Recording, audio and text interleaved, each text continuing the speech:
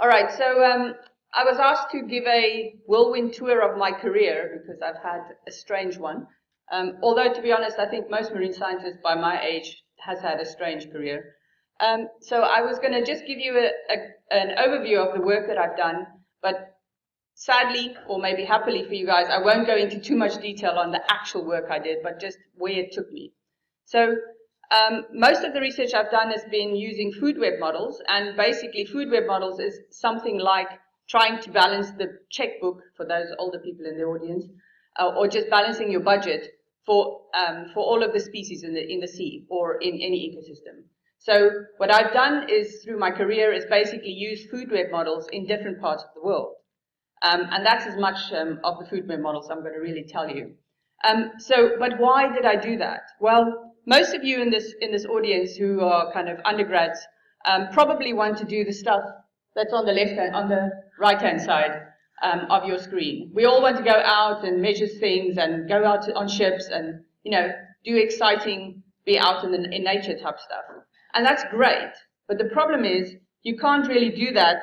Well, nobody wants to pay you to just do that. I think that's the bit, the problem. Um, so in order to get to do that, you need to try and answer the questions that's on the left-hand side of the screen.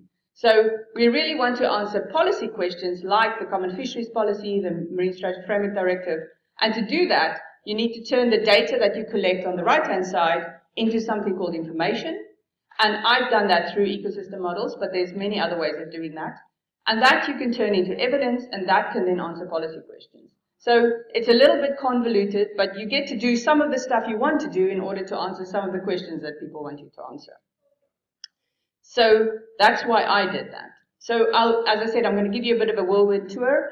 As Jan said, I actually grew up in Southern Africa, um, and my first degree was, uh, actually all my degrees was from the University of Port Elizabeth in South Africa.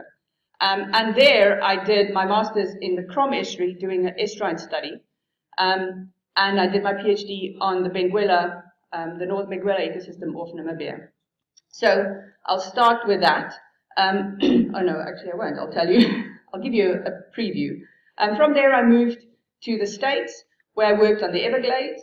Again, still doing food web studies. From there I went to Canada, Vancouver, where I did worked on quite a lot of um, food webs and, and, ecosystems in general. But um, the one I'm going to talk to, talk to you about is the Gulf of Alaska. Then I moved to, to Scotland, and I've been I was there for 11 years um, and did quite a few studies around the uh, around Scotland. Um, but that's when I started to actually stop just working for myself and started working with people. And that's something that I think you, the young people here should really realize. When you work with people, it's much better for your career. You learn a lot. So I worked a lot with about a bunch of other really good scientists at the time I was in Scotland. And from there, I moved here at the beginning of last year, and I'm now working at the European Marine Board. And so I'll tell you a little bit about these as I go along. So starting with my master's, I looked at the energy flow in the Krom estuary in South Africa. The Krom estuary is, um, is a smallish estuary on the east coast of South Africa, and they basically dammed it in the early 80s, late 70s, I think.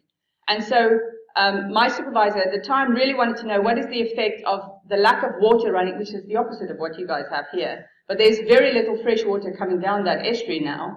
And so um, we basically looked at different sites along the estuary and um, went out and did sampling for these two critters, um, a mud prawn and a sand prawn.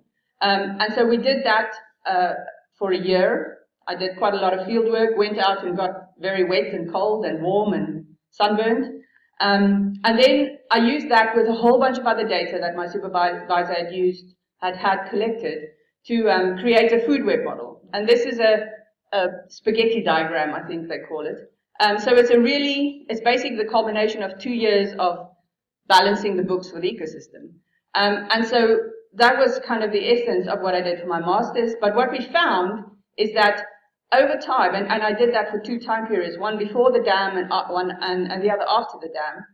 Um, and what we found is that the ecosystem structure had changed due to the lack of freshwater inflow. So you don't really have to worry about what these indices are, but you can see that there's differences between them.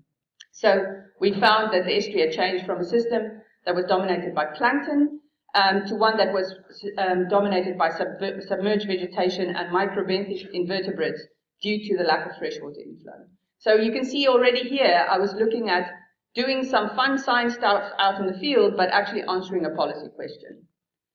So I think the first thing, um, I, am going to give you a few life lessons as I go along, as, as I under, understood it. So the first thing I learned was you really need to find something you're passionate about. I was passionate about ecology, and I was passionate about math, and I found a way to actually put these two things together, and then it doesn't feel like you actually have a job. And really, I'm nearly 50 and I still feel like I've never had a job. I've actually worked for 30 years and I've loved it, but it's never really just been a job.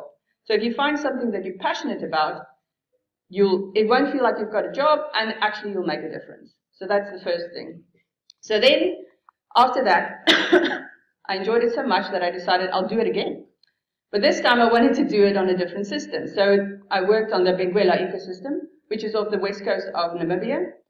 Um, and so the, the ecosystem, oh, let me go back there. The ecosystem is actually much bigger. It covers 180,000 square kilometers from the coastline to 500 meter depth. So it's quite a big ecosystem, very large fisheries.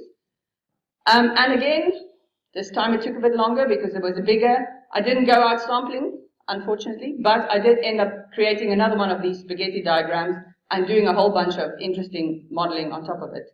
Um, so, and I'm not going to say too much about that other than you need to choose your supervisor really carefully. Because what happened was I decided to do a different PhD with a different set of people. And then after two months, I decided I just can't do this.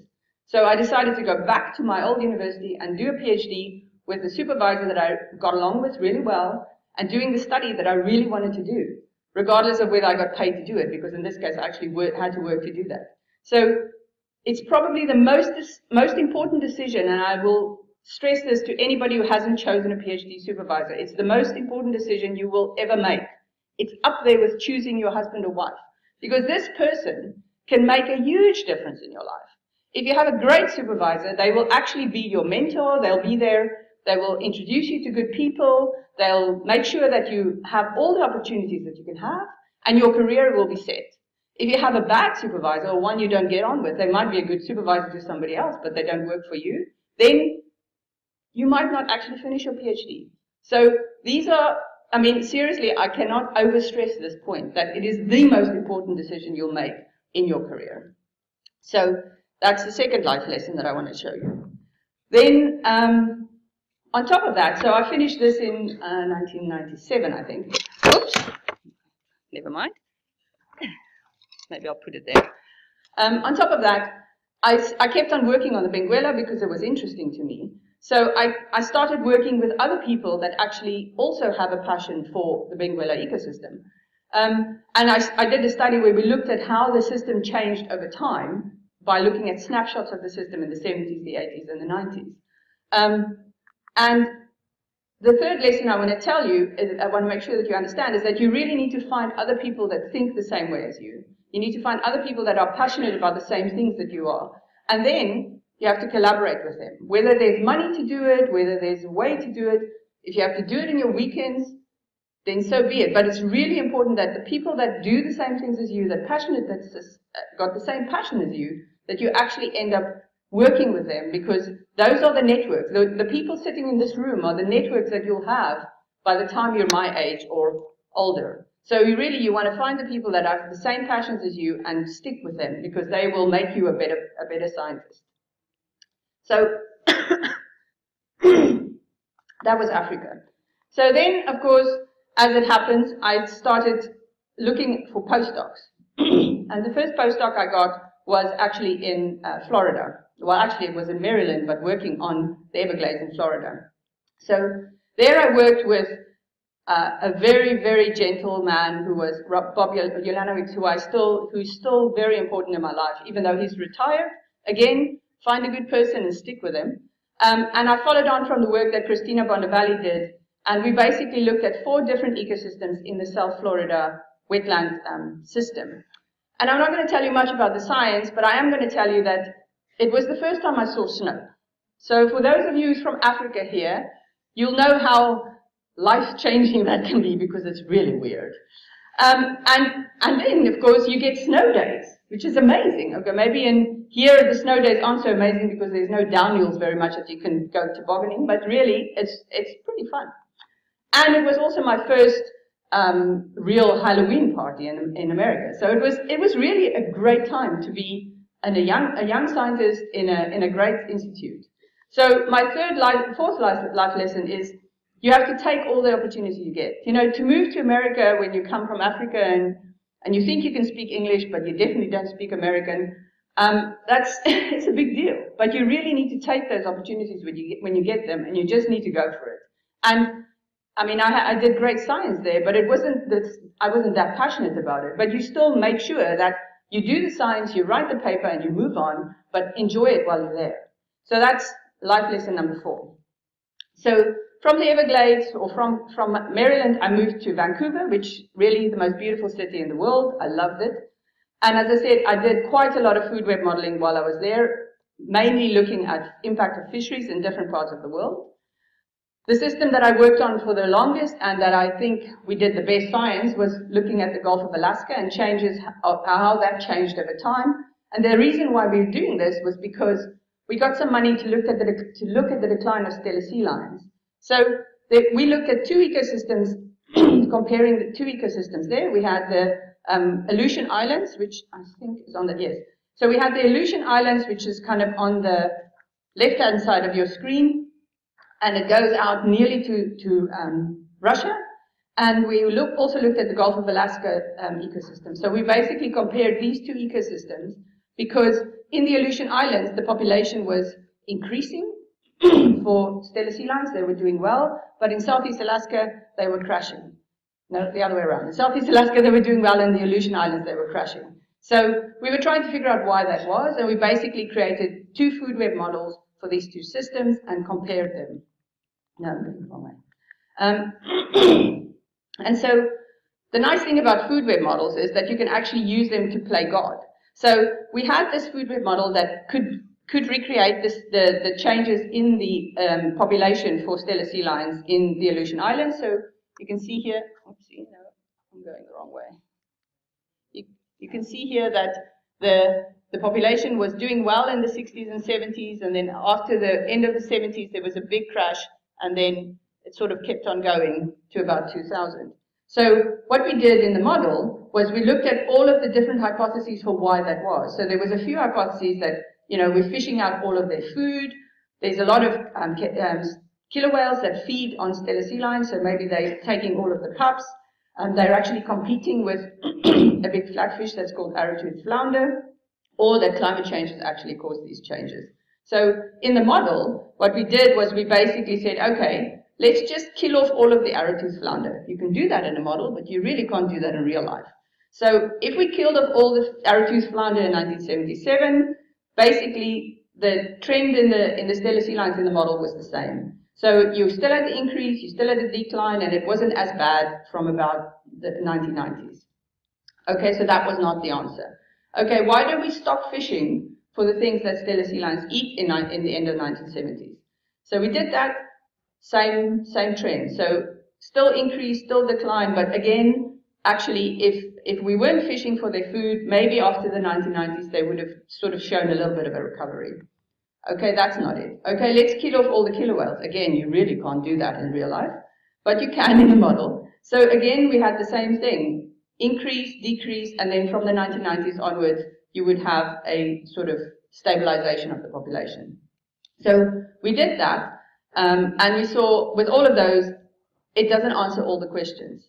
So then we took the driver, the climate driver that we had in the model to get all of these species to fit. It's not just Steller sea lions, but all of the other fish species that's in this, the model. And if you take the climate driver out, we didn't get the increase and we didn't get the decline. So we can see here that climate has actually had a big impact. But also, if you look at all the other lines there, after 1990, actually the population would have stabilized. So basically what we found there is that all of these things together cause the impact. So lesson number five is never as simple as you think. And this is really one of the most interesting things about food web models is that you can look at all these interactions and you can try and explain the, the impact that one thing can have on another. So it's really important that you work with other people that, that think the same as you, but also that has complementary skills. So Sylvie Guénette, who was the first author of this paper, was a very good stock assessment person, and she was really good at doing the stuff that I couldn't do. And so working with somebody who had complementary skills made this a much better study. So that's lesson number five. So, okay, that was Canada. It was really hard to leave. I definitely didn't want to go.